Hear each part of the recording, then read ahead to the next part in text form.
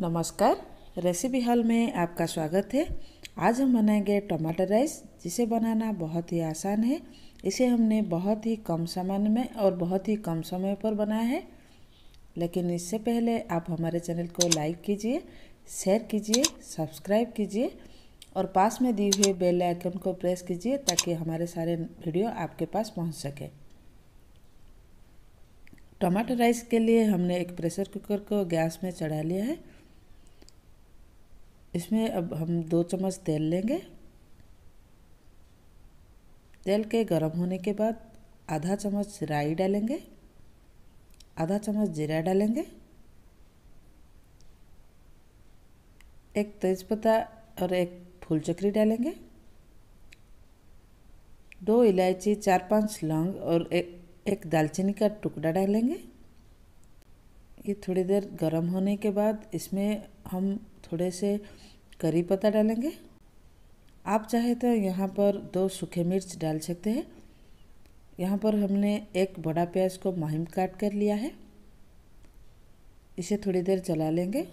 एक मिनट प्याज को भूनने के बाद इसमें एक चम्मच अदरक लहसुन का पेस्ट डालेंगे। इसे अच्छी तरह एक दो मिनट भून लीजिए।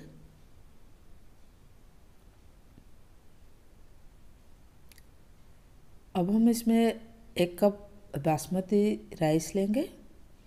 बासमती राइस को हमने एक घंटा के लिए भिगो लिया था। हमने यहाँ पर बासमती राइस लिया है। आप चाहे तो कोई भी चावल ले सकते हैं। चावल को चार पाँच मिनट के लिए हम अच्छी तरह से भुनेंगे।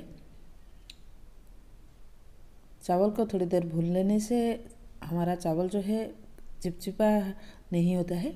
इसके बाद हम एक कप टमाटर प्यूरी लेंगे। तीन बड़े टमाटर को हमने यहाँ पर पीस कर डाला है और एक कप पानी लेंगे।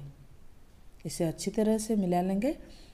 एक कप चावल के लिए हमने यहाँ पर एक कप टमाटर प्यूरी और एक कप पानी ली है। इसमें अब हम नमक मिलाएँगे। आधा चम्मच लाल मिर्च लेंगे। आधा चम्मच गरम मसाला लेंगे। इसे अच्छी तरह से मिला लेंगे।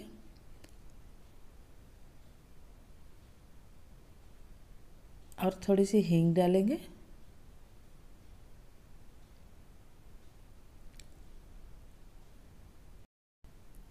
और प्रेशर का कवर देके एक सीटी के लिए छोड़ देंगे।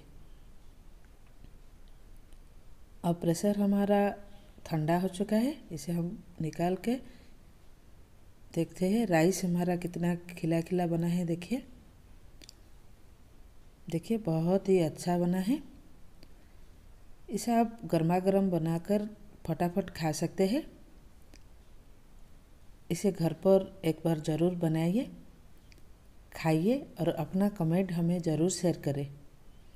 और मेरे चैनल को आप शेयर करें और सब्सक्राइब करें।